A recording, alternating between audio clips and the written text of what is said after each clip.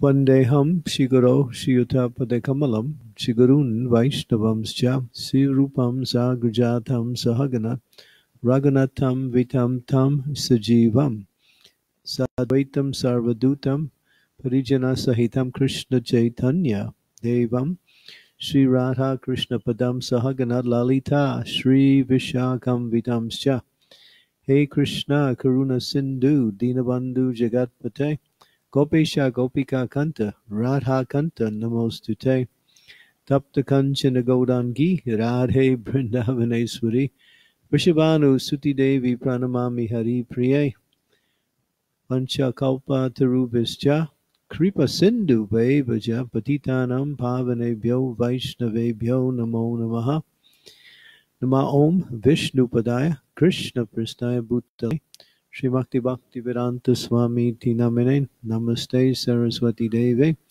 Gaudavani Pacharine Nirvishesha Shunyavadi Pastyatya De Satarine. Sri Krishna Chaitanya Prabhu Nityananda Sri Advaita Gadadhar Srivasadi Gaur Bhaktivinoda Hare Krishna Hare Krishna Krishna Krishna Hare Hare. Hare Rama Hare Rama Rama Rama Hare Hare Okay, so this is the concluding day, and we'll continue to churn some of the pastimes in the Mahabharata. As we were saying, the Mahabharata is that scripture that teaches uh, a lot about uh, life, how to live life. It's hardcore, it gets right to the essence.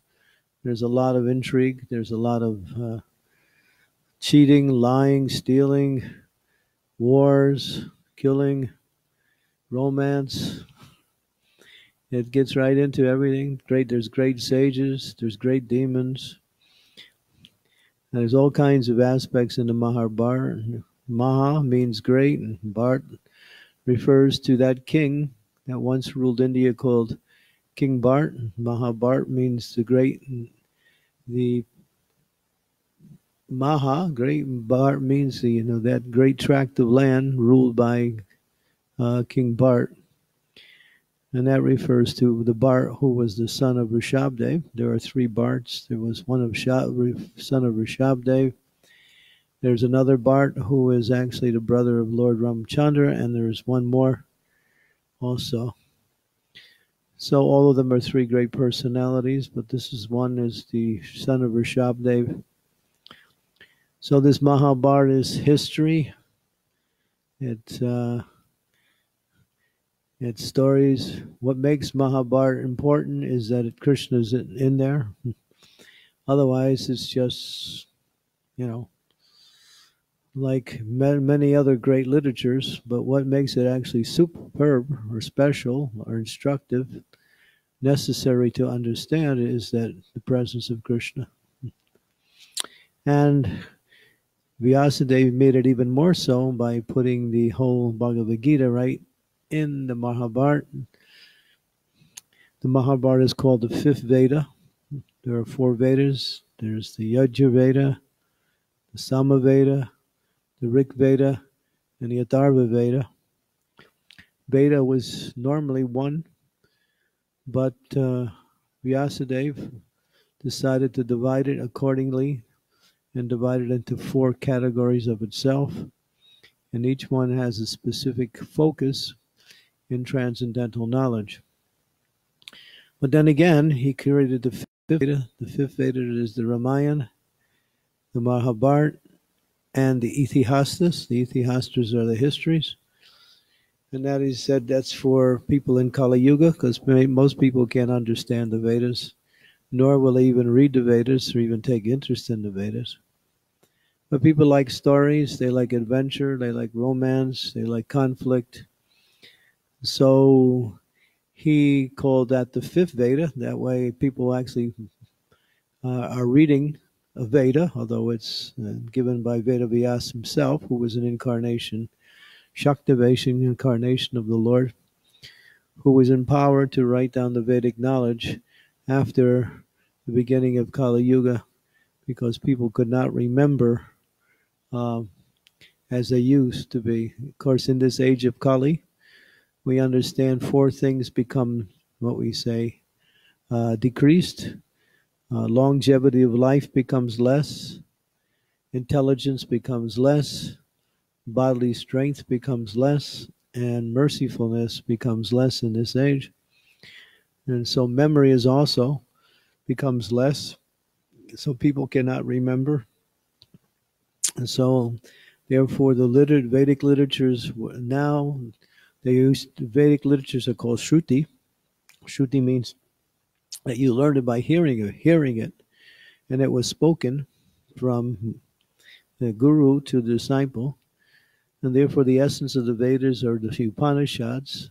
Upanishad means Upanishad means to sit down near, and it begs the question: sit down near what? Who? Sit down near the guru and receive transcendental knowledge. So there's 108 Upanishads where there are uh, 12 primary Upanishads. Of course, Prabhupada gave us Sri Isho Upanishad out of all the Upanishads. Of course, we have Ketha, Kanta, Ketha Upanishads and uh, Katha Upanishads, Kena Upanishads, Katha Upanishads, uh, the uh, um, there are many other Upanishads that are prominent, that are important. They are Shruti, they are the Vedas themselves. Well, Mahabharata is like history, and uh, it's called the fifth Vedas, but still it has many relevant things that the Vedas propound and explain, explain in language that people cannot understand or decipher or uh, understand how to apply.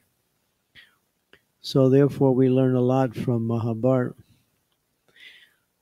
And one of the things we can learn is a lot of things is what not to do. it's a good scripture to teach us what to avoid in terms of how to live life. um, we have one of the main principles or main stories in Mahabharata or main topics is the uh, the Great War between the Kurus and the Pandavas, both members of the same family and uh, how that war played itself out and the role that Krishna played in actually bringing the Pandavas, who were his pure devotees, to the to the position of rulers of the entire world, headed by King Yudhisthira. But because this is the material world, one of the most uh, prominent disqualities that the living entity carries around is envy. And so, although the Pandavas were rightful heirs to the throne, their cousin brother uh, Duryodhana and his father Dhritarashtra were envious of the Pandavas, and, and Dhritarashtra wanted his sons to rule, and his sons wanted to rule more than he actually wanted them to rule. Because Kshatriyas, they look for opportunities to rule a kshatriya without a kingdom is a person who is somewhat it's like a person without any direction in life so now Duryodhana he's the son of uh, of uh, Dhritarashtra. And Dhritarashtra was actually supposed to inherit the throne but because of blindness he was unable to take the throne. And therefore Pandu was supposed to take the throne, but Pandu was also cursed to die if he had uh, union with a woman because he had killed one deer who was having union with a she deer, and that deer was actually a, a sage who had transformed himself into a deer so they could have uh, sexual relations in the forest when that deer was dying, he said, Because I am dying now, um, you will also die the next time you have any relationships with a woman. Pandu Fondle followed that, but one time he got very, very lusty and he went after his wife Madri. And because of that, he died immediately because of the curse. And now there was nobody to rule the throne. And then there was a contention Vidura could not rule the throne. He was the other brother, and because Vidura was born of a maidservant, therefore his his heritage was mixed Kshatriya and Sudra. although he was the son of Vyasadeva, he was still the daughter, the son of a maidservant, and therefore he couldn't take the throne either. So now it had to go to the oldest son, which was Yudhisthira. But Duryodhana became envious, and therefore they were cousins, cousin brothers, because they all had, they was three brothers. They were all sons of these three brothers, two brothers mostly, and therefore they were fighting amongst themselves, others for each other for the throne. And Duryodhana did everything he could to somehow or other cause harassment to the Pandavas. When the Pandavas were in the forests for uh, 13 years, they were living, and Draupadi had also gone into the forest. Now, one day, one great saint, his name was Durvasa Muni, not a saint, he's more like a sage. He's an expansion of Lord Shiva. He's a mystic yogi, very powerful. But he has one outstanding characteristic. He gets angry very easy. So he came to visit Duryodhana. Duryodhana understood who he was and understood that if, if I can get the favor of, of Durvasa, then I can use him against the Pandavas.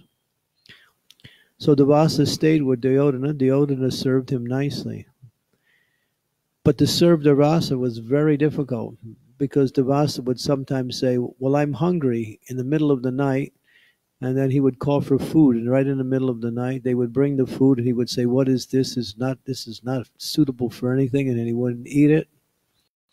Or sometimes they would bring him something to eat, and he'd say, "I'm fasting today." Or other times he would say, all of a sudden, "Cook me a big feast." And he had 10,000 followers. So they all came with Durvasa to the palace of Duryodhana. But Duryodhana, although he was such a, what we say, a, you know, he had many bad qualities, he somehow or other tolerated whatever Durvasa did because he was trying to get Durvasa's favor. So Durvasa was actually just testing Duryodhana to see how much he could tolerate. And then when he saw that Duryodhana had passed all the tests he threw in front of him, he said to Duryodhana, "You know, you know, I uh, I can see you're a very special person. I've come, I've given you much trouble.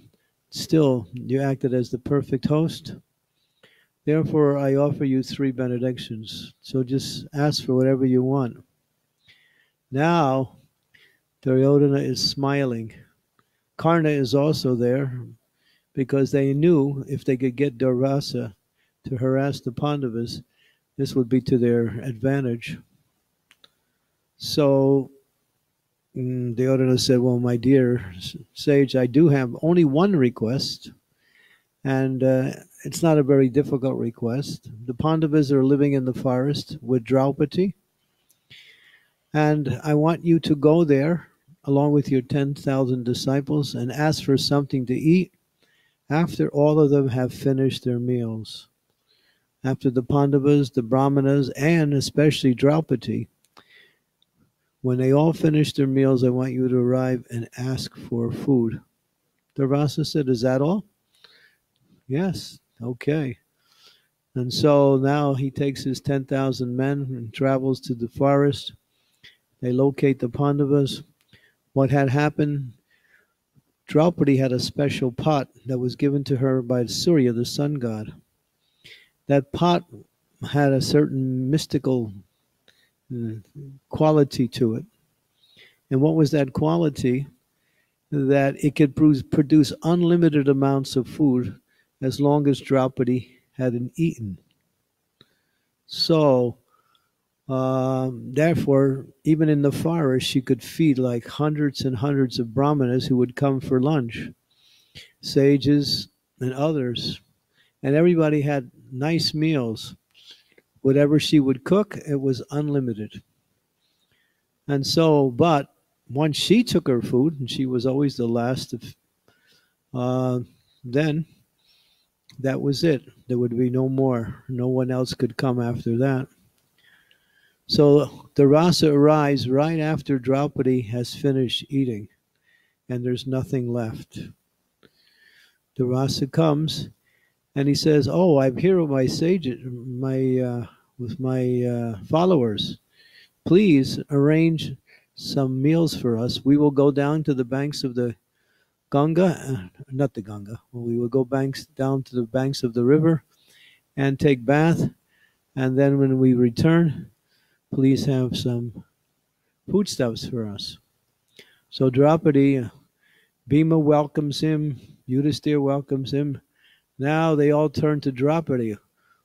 What are we going to do? Draupadi said, Well, I don't know because I've taken food and there's nothing left. It's just an empty pot. So, what do devotees do when they get in trouble? What do devotees do when they become complex, com- uh, perplexed? Or what do devotees do all the time? They depend on Krishna. They pray to Krishna. They call out for Krishna, especially in desperate situations. Uh, a devotee knows that by the mercy of Krishna, all problems become easily solved.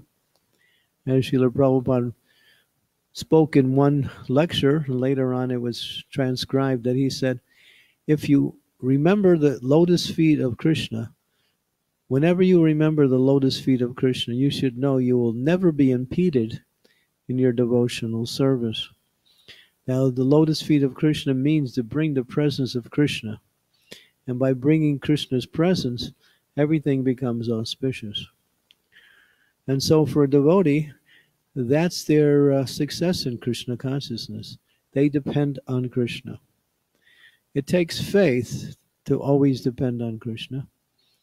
Because some of us, because we may have some great intelligence or great abilities or have some successes in our lives, a lot of times we depend on our own qualities, capabilities, past experiences, intelligence, whatever, in order to carry out some situation or even to overcome some problems and difficulties.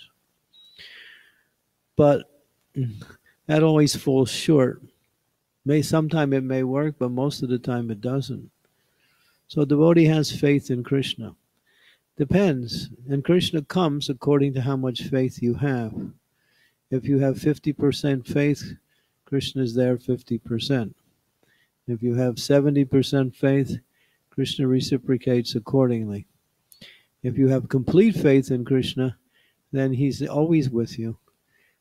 And all you have to do is remember him and he's complete he's there to assist the devotee in whatever the devotee needs in their devotional service or even in practical things, Krishna will help the devotee. He gives the intelligence. Give you an example.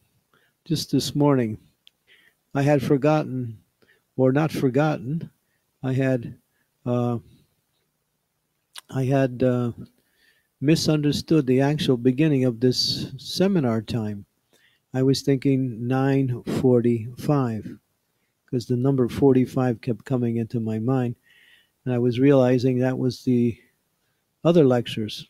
So I'm thinking 9:45 will be the beginning. And so I pick up my beads. I'm start chanting, waiting for 9:45. It's 9:25, and I'm chanting, and all of a sudden Krishna says, "Check the schedule." so I go to check the schedule. It says 9:30 whoa, I got to run down, set up the computer. So if I wasn't chanting japa, I wouldn't have been able to remember that. That's a fact. So as soon as we remember Krishna or call out to Krishna, everything becomes clear. So Draupadi, she's now she's thinking what to do. She knows there's only one solution. She starts praying not only praying but calling from the core of her heart because they all know if the, ras- Durvasa becomes angry, uh, there's no chance that they'll have anything auspicious. He may curse them, he may even cause them to die.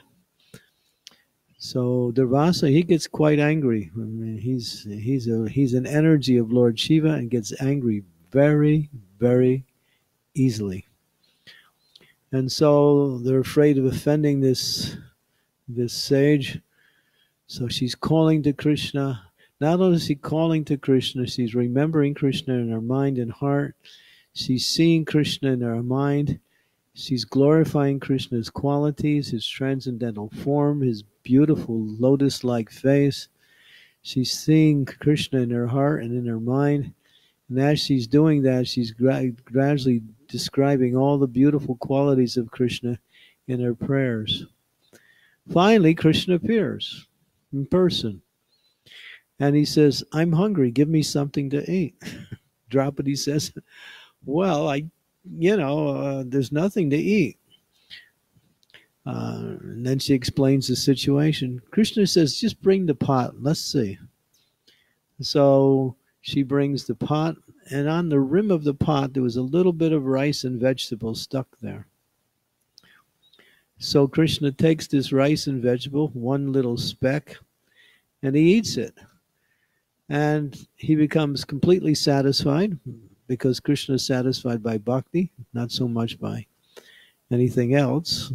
Whatever we offer to Krishna, it's the bhakti that, that makes the offering complete. We have to offer something, and therefore we have prin- we have principles on how to offer different things to Krishna food, our time, our energy, our intelligence, our abilities, our resources, whatever we have, we offer. But, you know, sometimes people think it's what we offer that makes Krishna happy. Not, no, not actually. What makes Krishna happy and pleased is how you offer it. What is the mood? And therefore, when Krishna is satisfied by that mood of, of devotion, everything becomes auspicious. So, simply by tasting that little bit of rice from Draupadi's cooking, uh, the Lord became satisfied. Bhima now he runs down to the to the bank of the the uh, river to call the sages, come for prasad. Now all of a sudden the sages who are followers of Durvasa Muni, they're feeling completely full. So they look at that each other, and everyone is thinking, "I'm not hungry. Are you? No, I'm not hungry either. I'm feeling full." So uh, they turn to Durvasa and say, Durvasa, you know, none of us are feeling hungry. What are we going to do?" Durvasa said, "Let's go before they come." So Durvasa and his men depart and the Pandavas are freed from uh, the reactions that Durvasa would naturally give. So Duryodhana's, mm, what we say, uh, plan to foil the Pandavas uh, was uh, what was was foiled itself. Was foiled itself. We see also, we also mention how Krishna said, "I'm not going to fight." But when Bhishma Dev was fighting with Arjun, really fighting with Arjun, wanting to finish Arjun and the five Pandavas, Krishna knew if he didn't do anything, the Pandavas were going to be finished.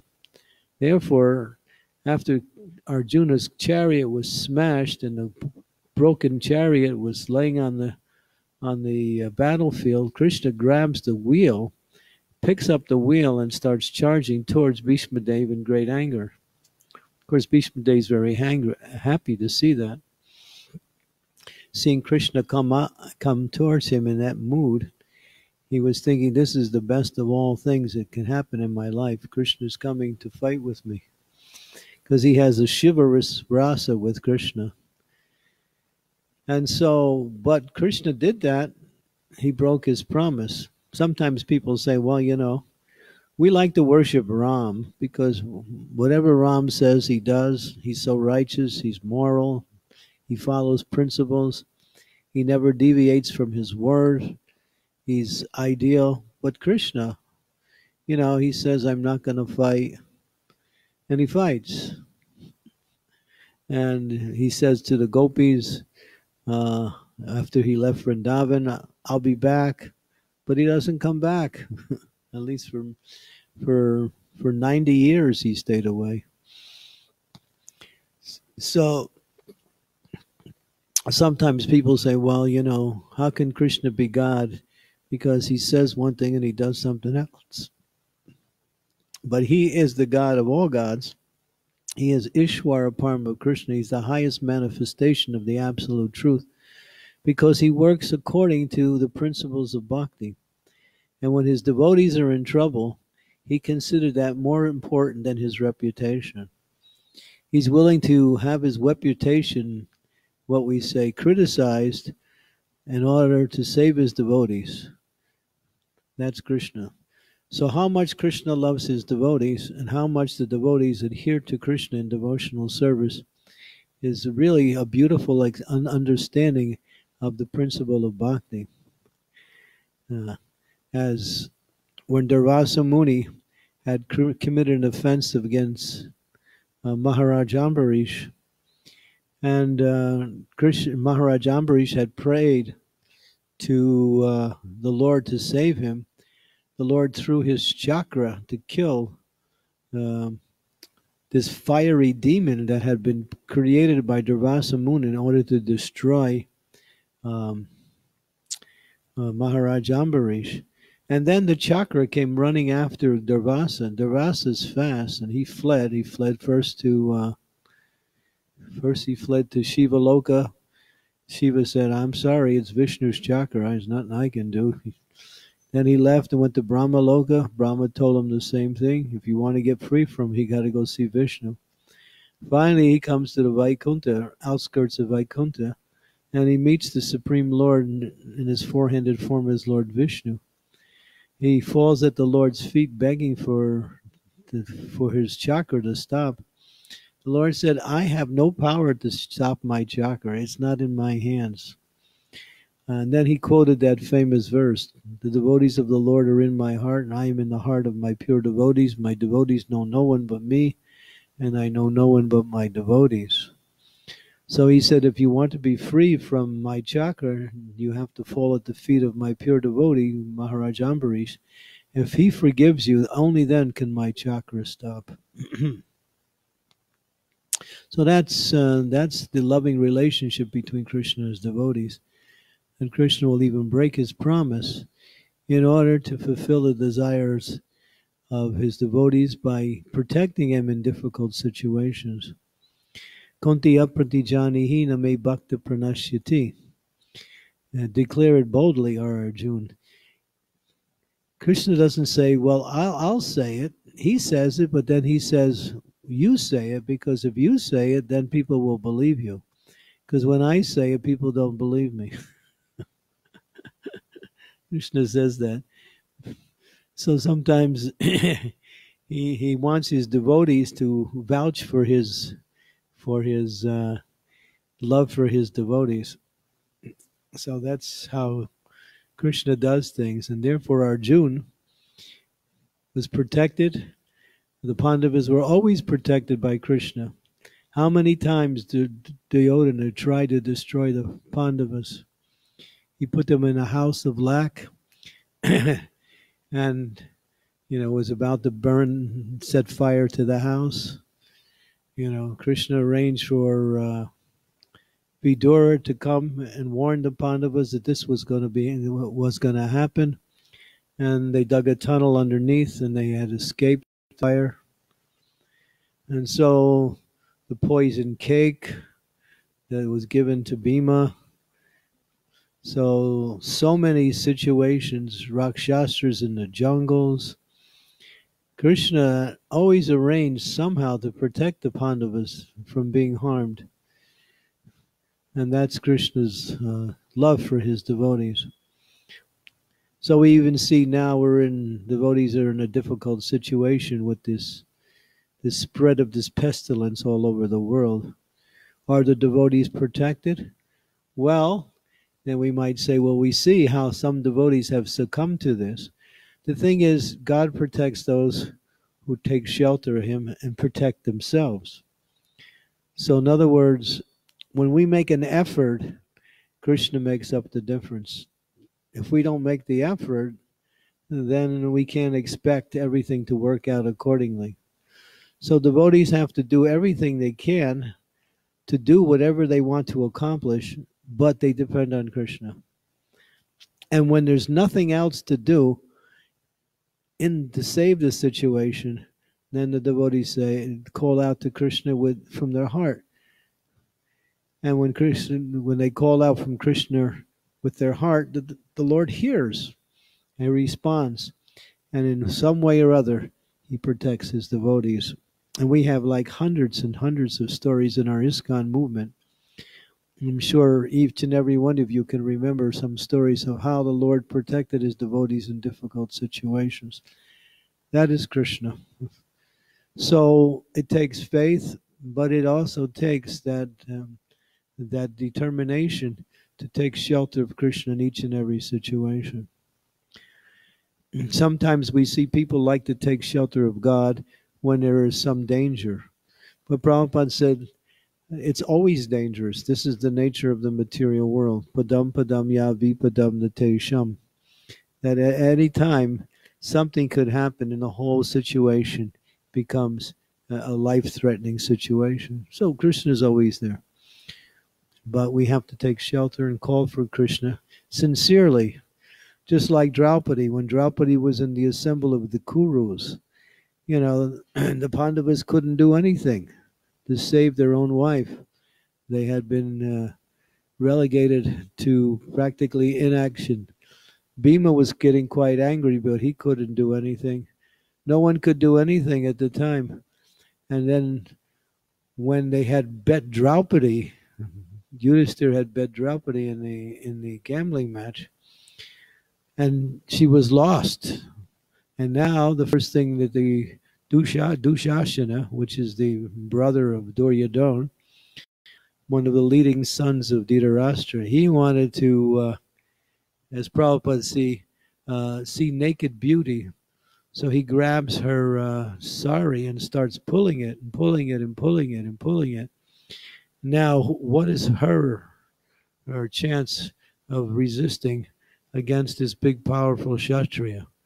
So her sari is coming off, and she's grabbing with one hand, holding her sari. and then finally she realizes she has to call out to Krishna. And she calls out to Krishna with one hand on her sari and the other hand in the air. Krishna's in Dwarka. He's playing dice with Rukmini. Rukmini understands the situation. She says, Krishna, your, your devotee is calling for you. Krishna says, No, let's play another game of dice. She's still holding on with one hand. so when finally she let both hands go and threw her arms up into the air and realized, It's only you who can save me. And so when that happened, then Krishna came and he incarnated as in unlimited sari. And as Dush, Dushasana continued to pull, all there was was a huge pile of sari in the middle of the, the palace floor. And finally, they gave up because there was no limit to the sari. So it wasn't until she fully surrendered that actually Krishna came to save her. So you might also understand this point. Sometimes we don't, we still are hanging on to our own. We should use our intelligence, ability, or whatever we have to execute devotional service. But can we save ourselves from death? Can we save ourselves from this coronavirus? Can we save ourselves? No, we have to call out for Krishna for his protection and for his mercy. Only then are we completely protected and safe by his mercy. It's a matter of the heart being completely attuned to Krishna. Please, Krishna, save me. or do something to save this situation. And especially in Kali Yuga now, uh, you know, this Kali Yuga is becoming more and more dangerous to live in this place. Prabhupada said the material world is always dangerous. It's just the nature of the material world. But now, when it becomes even more dangerous, then people become more alert on how to somehow or other survive. But all of our arrangements always fall short until we simply call out to Krishna, depend on Krishna. And sometimes Krishna, he protects his devotees by giving them the intelligence how to do things.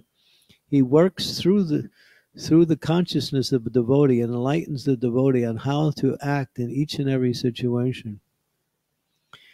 I can think of one story where two devotees were preaching in in in uh, Pakistan. Well, actually, it wasn't Pakistan at the time; it was uh, East Bengal, and uh, they had uh, this was during the war in 1972.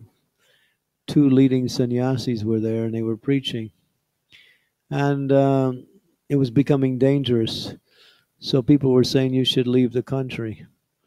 So they decided, all right. Prabhupada was worried. Prabhupada was sending letters. There was no response. The mail was got was getting cut off because of the war. And so Prabhupada was praying for them, obviously.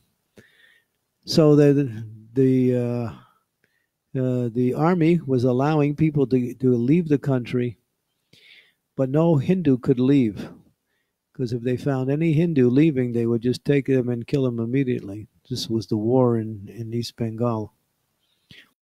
So there were two devotees. They get on the bus. They're trying to get the bus is trying to leave the country. They get stopped at the border. The army comes, checks on the bus, finds two sadhus, takes them off the bus, puts them up in front of the firing squad. Now they're going to shoot these two sannyasis. So one of them, one was Brahmananda, and I think the other one was uh, Pushta Krishna or it was Gargamuni. I'm not sure, either one of the two. And uh, Brahmananda, they have their beads with them. So Brahmananda holds up his beads and starts chanting really loud. And he turns to the other devotee and says, Hey, we're going back to Godhead. Let's chant. So they start really chanting loud as they could. As they were chanting really loud, the whole the Islamic army became bewildered and the head general came up to them and said, "All right, get on the bus and get out of here. Don't come back." so that's a that's a that's a famous story that was told by the devotees. So you see, this is an example of its extreme difficulty when how Krishna takes uh, takes care of his devotees when the devotees feelingly call out to Krishna for mercy like that. So this is the main point that we want to somehow or other uh, send across is that uh, Krishna says, uh, in all cases, just depend on me. if you want to be successful in life, and especially in devotional service, just depend on me. Always remember me, jet my glories, think of me, and make your life centered around Krishna. But see, we can't remember Krishna unless we make Krishna the most important thing in our life. If something else is important in our life, then it becomes that becomes the thing we remember more. So it's important that the devotees understand this principle. Krishna has to be the most important person. And he is because there's nobody second. If you become Krishna conscious, Yasmin Viganta Sarva Eva Viganta Bhavanti. If you know Krishna, you know everything. And if you know everything and you don't know Krishna, Shrama Eva Hikevalo, which means it's all a useless waste of time. Okay, so the Pandavas had that faith that no matter whatever situation they were in, they depended on Krishna. And Krishna saved them constantly, time after time episode after episode, situation after situation. He was always there to make the difference. And finally, the Pandavas became victorious. Yudhisthira ascended to the throne, and the Pandavas eventually took charge of ruling the entire world. Okay, it's all by the grace of the Lord. So we'll stop there and see if there's any questions that devotees may have.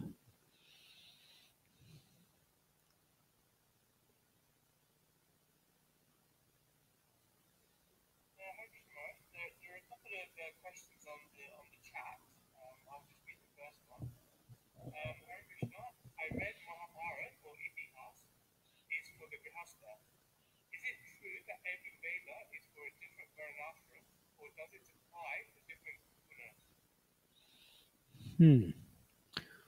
I've never heard that statement anywhere that the, the Vedas are books of knowledge, but usually can only be understood who is actually have Brahminical qualities. Therefore, we have what is called the uh, the uh, Smritis. The Shrutis are the Vedas. The Smritis are the commentaries on the Vedas. Bhagavad Gita is Smriti. So we can read and understand Bhagavad Gita with the guidance of a spiritual master, of course. So it, this Varna thing is really doesn't apply so much because there is no no one's born Brahman in this world anymore, especially in Kali Yuga. No one's born Kshatriyas, no one's born Vaishya. The scriptures, scriptures say, Kalo Sudra Sambhavan, that everyone in this age is born Sudra. And people can develop certain characteristics and qualities to bring themselves to a particular Varna according to education and training and guidance by superior authorities. But we don't have to worry about Varnas and ashrams like that. But we don't really, you know, study the Shrutis so much. We get everything through the spiritual masters. So most of our knowledge is coming through Puranas, Itihasas, uh, and Smritis, which are commentaries on the Shrutis, like that. So mostly the Shrutis are cannot, cannot be understood only by the very highly qualified Brahmanas like that. Uh, generally, the Mahabharata, it's not necessary for Grihastas, but it says that people who are more interested or more inclined to hear spiritual messages through stories. This is why Vyasadeva put the Bhagavad Gita in the Mahabharata because Mahabharata is all about different stories of different personalities. So generally, the Brahmins they study the Shrutis, and of course, in our Krishna consciousness, we study Srimad Bhagavatam, which is the Amalam Puranam, the pure. So we don't follow any of these Varna considerations like that, or even ashram considerations. We follow the teachings of the spiritual master. So Prabhupada has given us you know, the books that we need to learn to study. And Grihe Tako, Bone Tako, Sabdahari Boli Tako, whether you're Brahmana, Kshatriya, Vaishya, Sudra, Grihasta, Brahmachari, Sannyasa, or Vanapras, it doesn't matter. If you're engaged in devotional service, these different ashrams and occupations are simply material. Vanashram is material when Chaitanya Mahaprabhu was discussing with Ramananda Roy, he asked Ramananda, Ramananda Roy, what is the goal of devotional service? What is the goal of all knowledge? The first thing he said, Vanashramacharyata Pudushem Param Param Vishnu Arati Panta Nanu Soshantikan. I can't remember the last line. But the point was that he quoted Vanashram as being the goal. And Krishna and Lord Chaitanya said, Iho Bhaje, that's external. Give me something more. and then he said, uh, Yad karosi yadanasi yad didosi dadasi yad yatapasi. Lord said, that's also nice, but give me, that's also external. Then he said, Sarva Dharma Pariksha Kamera. He said, well, that's very nice, but isn't there anything more?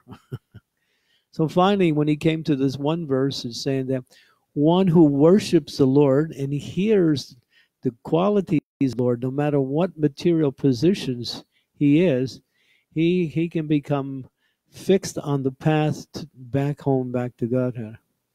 So hearing and chanting the glories of the Lord, it doesn't matter grihe, you know, grihe taco, bande taco, subda, whatever you are, whatever position you are, you're brahmana, kshatriya, you know, you're grihastha, brahmachari, just hear and chant the glories of the Lord, like that. Of course, the Mahabharata is generally understood for people who cannot approach the higher scriptures because of the lack of ability and knowledge. And so they find they get spiritual knowledge, at least in uh, a very hardcore way, through through the lives of uh, saints and sages and kings in the Mahabharata.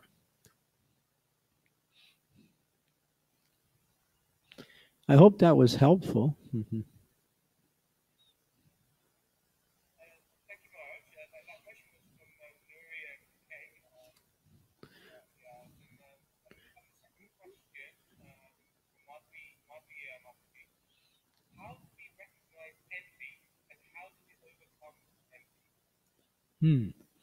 Well, recognizing it, if you're feeling happy when someone else is happy, and when you're feeling sad when someone else is sad, that means you're not envious.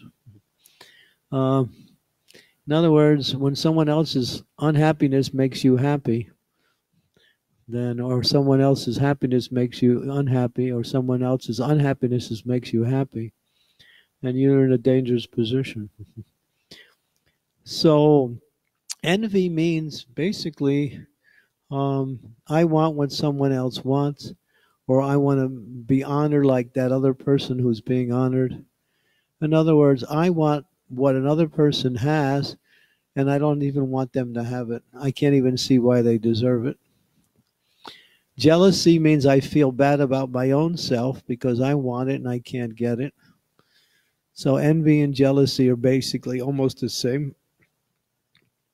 So, envy is the original sin, as Prabhupada describes. When the living entity falls from the spiritual world, they fall out of enviousness of the Supreme Lord.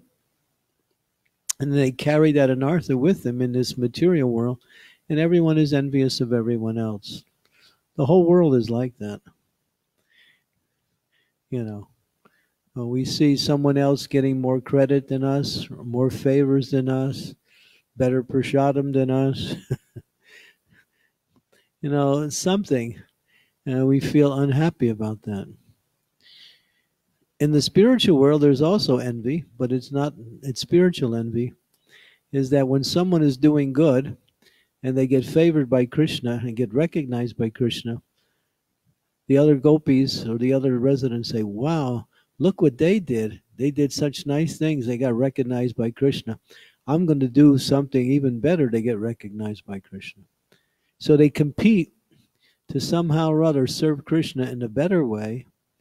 It's not envy because it's actually they all feel happy serving Krishna, and whoever wins, whoever does the best service or the most pleasing service, uh, then the other all everyone feels happy. But there's a competition. So in this world, competition is there everywhere but it's more like to destroy your opponent. That's envy. Uh, Prabhupada also says, a killing of animals, that's envy. Animal has been given a right to life by God. I interfere with that animal's, animal's right to life. I become envious of that living entity and I decide to destroy it. So envy is there. So how do we get over envy? We can develop certain mindsets and that will help. But, and I'll mention those mindsets, but going back, really how we get over envy is to serve in a humble way. By serving the Vaishnavas, by running, by offering menial service to the devotees, we can get over this principle of envy. And another thing is that if we can understand that that uh, whatever people have in this world is given to them by God. So why should anyone uh, feel bad about what another person has achieved by the grace of God? Because no one can achieve anything uh, uh, without the great grace of God. So therefore, when someone is envious towards another person, it really reflects their relationship with with the Lord, because they're basically saying, "My dear Lord, you have made this person like that, and therefore I don't think you should have did that." so your problem is with Krishna. So whatever everyone has, it's the arrangement of the Lord. So, in one of the qualities that we can develop to help overcome is to realize how much, how grateful we should be because Krishna has given us so much. If you're always looking to see what you have in terms of how much Krishna has given you in your life and thanking Krishna for that, you'll be happy, you'll be satisfied. So, satisfaction in whoever you are, whatever you are, is a principle of a peaceful mind and it's a quality of non envious. It doesn't mean we don't try to increase knowledge, increase our service, increase our abilities. We can try that, but we understand that whatever comes by the way grace of the Lord, I can be satisfied with that. So one should never look outward and think, oh, I, will be happy if I can get that. I'll be happy if I can do that. I can. I'll be happy if I get. No, when we start thinking like that, then we become envious of other people or other situations. If, and, if, and if two people have the same uh, occupation in life, then enviousness becomes more likely to occur.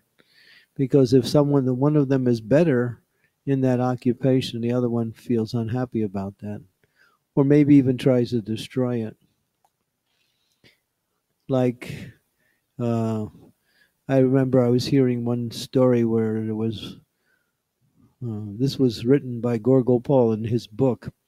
One man was working in an office, and he was really good at his job, and he was excelling at his job. But the other co-workers started to feel envious of him so sometimes when he would leave the office, they would go in there and steal one of his files or do something to his computer. In other words, they would try to sabotage, you know, his work because they were envious that he was way beyond their, them in in doing the same work that they were doing, and he was getting recognition. He was getting a lot more uh, opportunities for advancement he was getting bigger pay. So we see that in the material world, you know, people become unhappy when someone else who has the same activity. So learn to be satisfied and in devotional circles, just serve the devotees. If you don't serve the devotees, then it'll be difficult for you to get over that enviousness. We can we should not think, well, I have my service, that's all I need to do. No you should think of ways to serve the Vaishnavas. And that way, that helps us to become what we say peaceful and we develop nice relationships with other devotees. It's all based on humble service.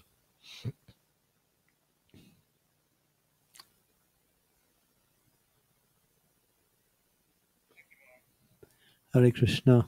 Mm-hmm.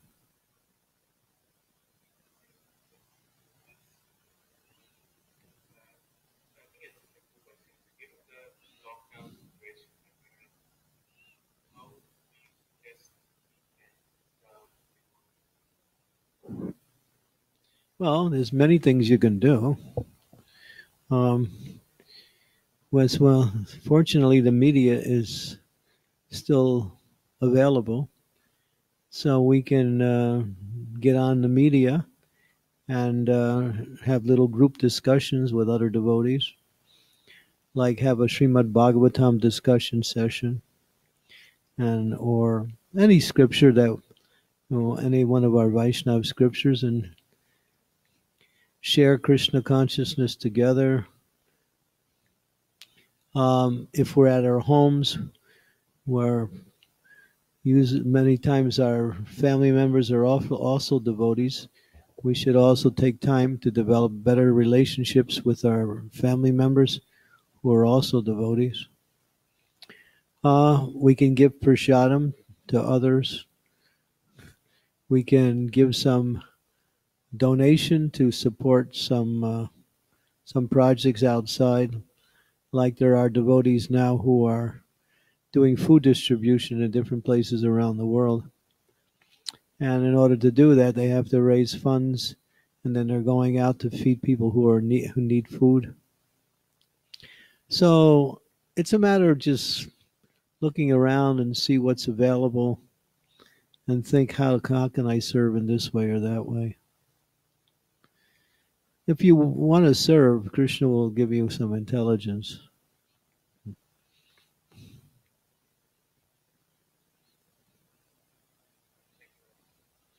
Hare Krishna.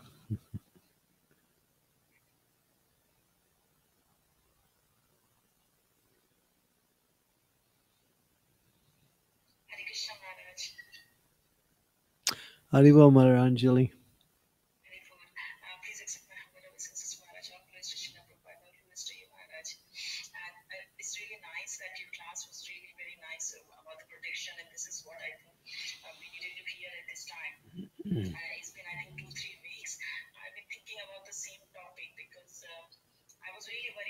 Shiram Prabhu as uh, is the very senior devotee and completely surrendered soul who is like uh, from last two, three weeks since this lockdown started. He started distributing 20,000 plates of prasad every day morning. And uh, in this age, he's coming out and like not worried about his health or anything else. So it's very, very inspiring for whole of his or for a human being actually, humanity that uh, we should learn from him as well as what you explained in the class that a devotee should be completely surrendered and then uh, Krishna will protect them. So this is this is really nice class. Thank you so much, Maharaj. Thank you, thank you. Yeah, Parasuram is the ideal person who sacrifices everything uh, to give Krishna consciousness to others.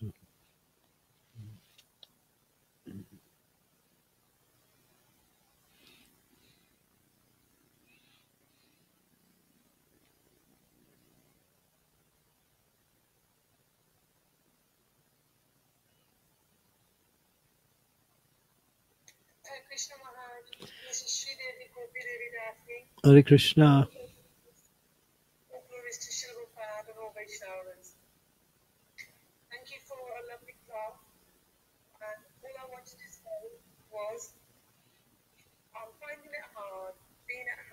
this lockdown situation where some family members may be not doing as much stuff as me, so how do we keep our mental health with calmer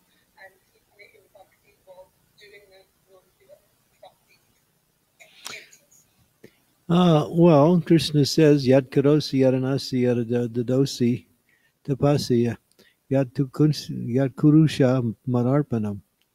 He says, All that you do, all that you offer and give away, uh, all that you eat, all that all sacrifices you perform should be done as an offering to me. So, because you are a devotee, you are dedicating your life to service of Krishna. So, don't separate the day to day duties that you have to do to family, or to you know to the home or whatever from your life as something extra or material. Just do everything as a service to krishna. And that means you offer the results to krishna. Try to remember krishna and uh, you know pray to krishna how best you can serve in these different situations if we are remembering krishna and serving krishna uh, in whatever we do, then it's fine. Even if it appears to be ordinary day to day things, even taking care of our own body, we have to understand that our body is really ultimately coming from Krishna. It comes through our parents, but it's actually Krishna's energy. So, in one in the real sense, it belongs to Krishna. So, when we take care of our body nicely, so we can serve nicely, we're taking care of Krishna's property. And that's devotional service also. Why do we take rest at night? Because we need we need to rejuvenate our body so we can serve them nicely when we wake up. So we should think, while I'm taking rest, so I need so much rest in order to serve nicely. But the goal is always how to serve. It's not so much the activity doesn't become an end in itself. It becomes a means where we can uh, support all of our devotional activities, no matter what they are. So try not to make that division between uh, one type of activity another. Do, everything in the mood of service.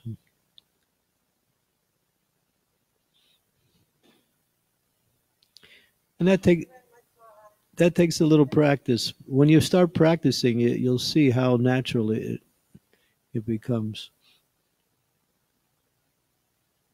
Thank you very much, Maharaj. All glories to the whole God. Thank you. Hare Krishna.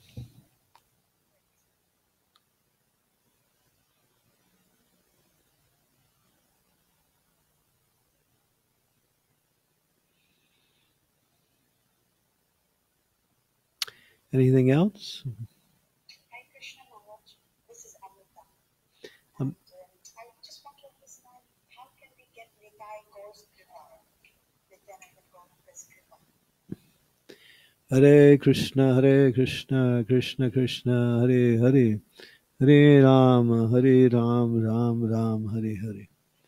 Lord Chaitanya says, I give my full mercy to a devotee who does two things chants the holy names of the Lord and doesn't find fault with other devotees. If you do these two things, you'll get the full mercy, full kripa of Gaura-Nitai. Haribo. Krishna Maharaj, um, in chanting the names of the Lord, I'm, I've been having a question from when I have to ask uh, but when we chant the names of the Lord, we press the name of the Lord directly to Krishna. Um,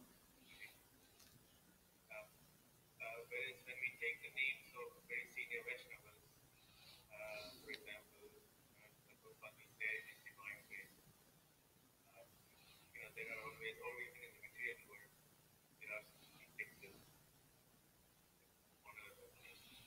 So, uh, how is it appropriate to address the name of the Lord directly instead of, you know, associating any direct quality and you know, that makes sense. Um, well, the names of the Lord are full of his qualities. When you say Krishna, means Krishna means all attractive. When you say Hari, you say one who one who takes away everything material. Uh, so all of the names of the Lord refers to his qualities, his pastimes, or his devotees. So they are also full with meaning. Also, they include other aspects. It's not just a name like we have a name, and that name in, indicates us. But Krishna's names are full of meaning, like that.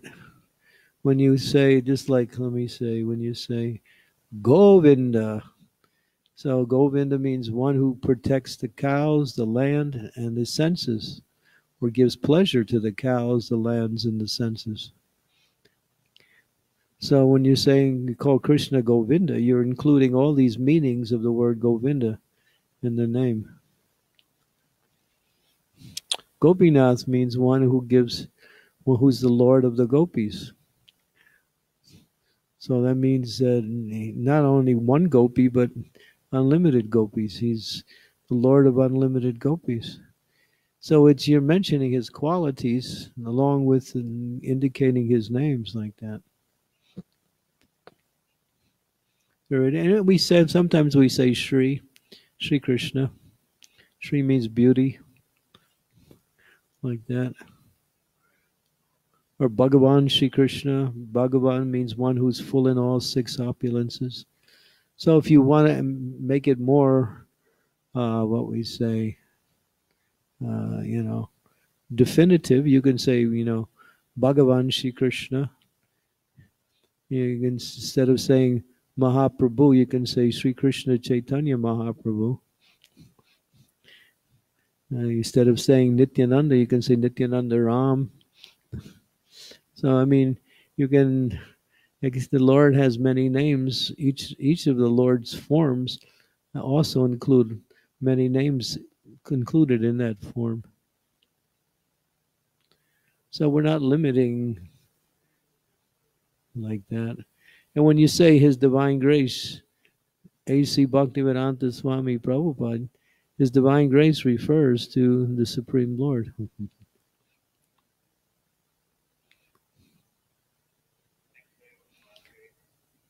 Thank you. Hare Krishna.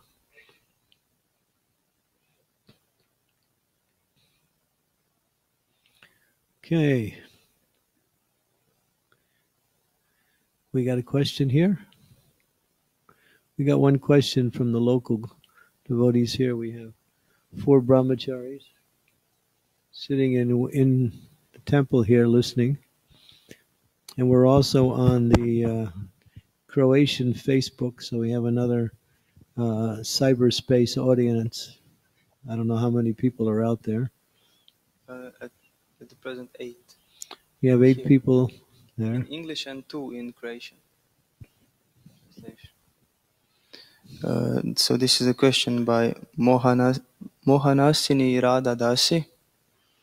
Uh, Hare Krishna Gurudev, do you know about any bona fide translation of Manu Samhita as Vaishnavas can or shall, shall we study these scriptures as well? Uh, Manu Samhita, she's asking about. No, Prab- Prabhupada didn't give us Manu Samhita because Manu Samhita is just. Yeah, someone someone asked is well, should we you know search out and study Manu Manu Samhita? The Manu Samhitas change with every Manu, so of course we're we're we're in the Manu Vaivasvata Manu right now, and so they're the law books for mankind. Manu the, the Manu Samhitas, how society should organize itself, and so I mean, it's so detailed, these Manu Samhitas. And sometimes devotees read Manu Samhita and get confused because it seems like some of the principles in Manu Samhita will be opposed to or clash with spiritual principles. But Manu Samhita has to be understood in, in both a moral way and a practical way. It's just the law books on how people should govern their lives in such a way as that they, when they when they organize their moral and and what we say life in a certain way, according to all aspects of life, how to raise the family, how to make an occupation. It's like Manu Samhita says, you know. Manu Samhita says uh, a merchant should not make more than 25% profit. So who's going to follow that? He's allowed to make 25% profit, no more, and that way they can put that 25% back into the business and then generate. So, in other words, a person can live as a businessman, but nowadays um, people consider business as, as much as you can make, and you go ahead and do that. If you make 500% profit, then you're considered a good businessman, you know. So the rules, regulations, principles, uh, Manu Samhita are, are not generally. But Prabhupada's giving those practical terms in many of his lectures, and in, in the in the Bhagavad Gita, you can find a few of them, and also in Srimad Bhagavatam. So we don't need to go to the Manu Samhita directly. And Manu Samhita mostly talks in terms of Varna and Ashram. So there is activities for Brahmins, for Kshatriyas, for Vaishyas, Sudras, like that, different ashrams. Uh, so I, I would say if whatever you can you ever whatever you want to need to know, you can know it through Srila Prabhupada's books. Everything's there.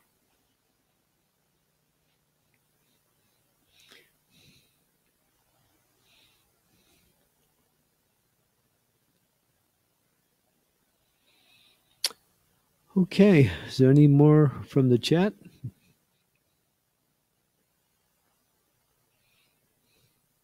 there are no, no more questions on the chat now. Uh, any other devotees have any more questions, please do unmute yourself.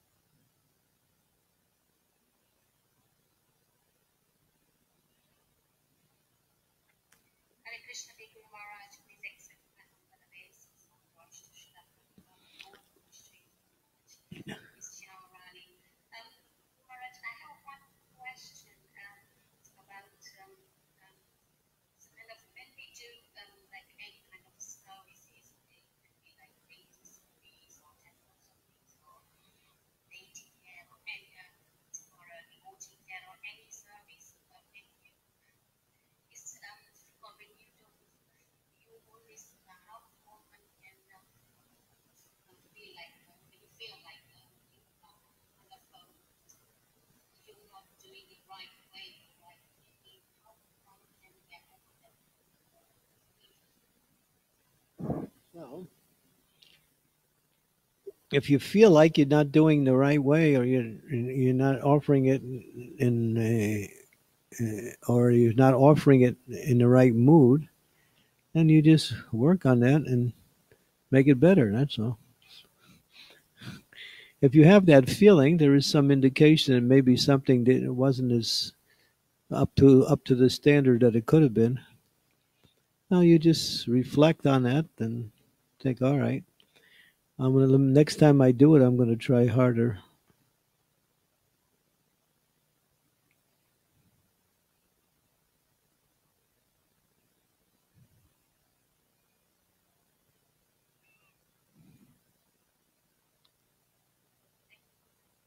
Yeah, just do your best.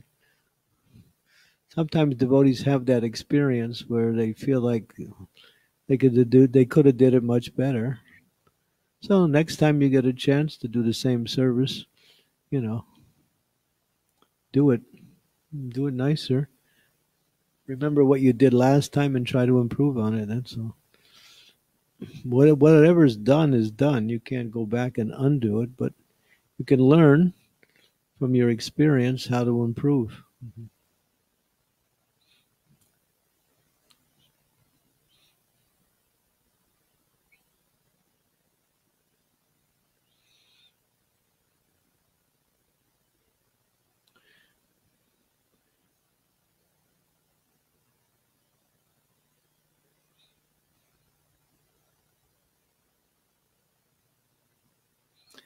Okay, so we're we're practically right there at, at the closing time.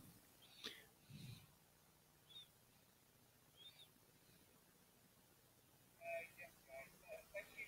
Um, so first, uh, first of all, let's give a big thank you to you, Maharaj, uh, for speaking for giving us the Law Association. Uh, and we, we really loved your classes last year during the Ramayana retreat, and uh, obviously this year's been very special as well. Unfortunately, we haven't had your personal association, and then at least physical association, shall we say. But um, thank you again very much, Maharaj, and we hope uh, to make it three in a row next year.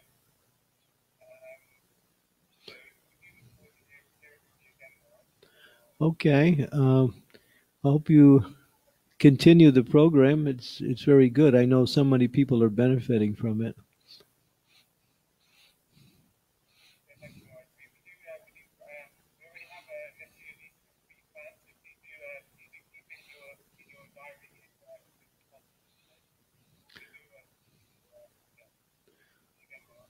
uh, uh. Okay, if if things are what we call quote unquote back to normal, then I'll be there. But I think there's um, then I don't want to sound negative, but uh, we don't know what what the situation in this world is going to bring in terms of how the whole thing will play itself out. Krishna consciousness will always go on no matter what, that's for sure.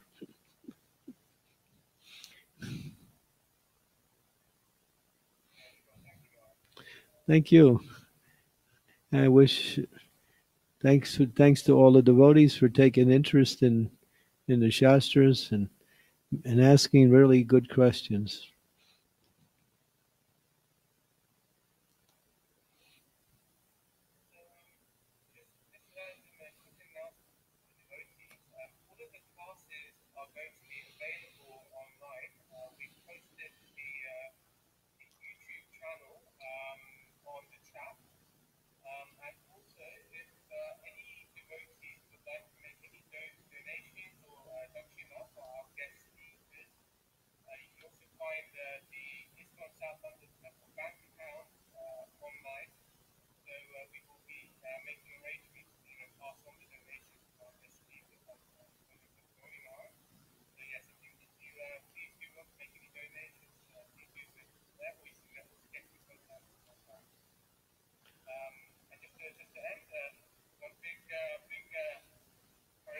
tomorrow, so um, I'm just going to.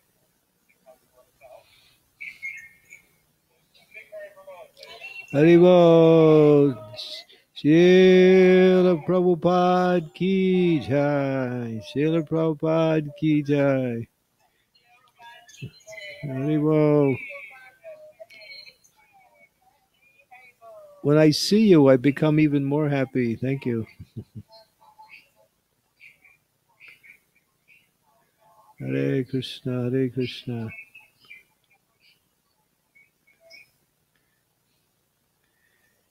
Come visit Croatia if the chance comes.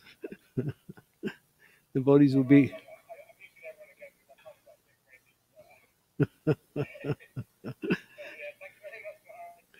uh,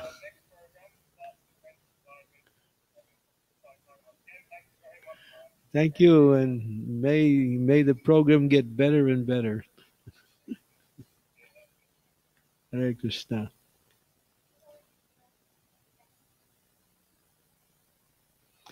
Okay.